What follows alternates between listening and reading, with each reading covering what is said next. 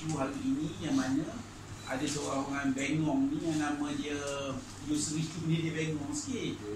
Dia dia um, agaknya macam mana entah dia buat isu ini dan dia mengaitkan PBIM kenapa PBIM tidak ambil isu ini atau kenapa isu ini telah diambil tapi isu ini diam?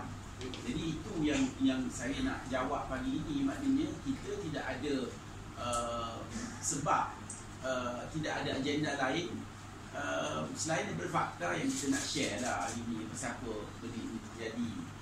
Sebenarnya um, dalam video saya tak tahu sama ada tuan-tuan semua ada ada perasan tidak menyatakan um, uh, PBIM telah gagal uh, mengambil tindakan.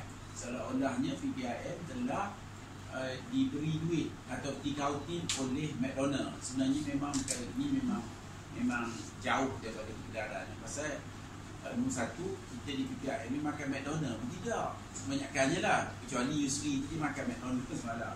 Kita makan McDonald tidak. Pasal bagi kita ini bukan makanan yang sihat. Jadi tak ada masalah. Kita tak ada. Orang nak makan makanlah. Uh, dulu satu masa itu kita ada uh, boycott. Tapi sekarang kita um, isu itu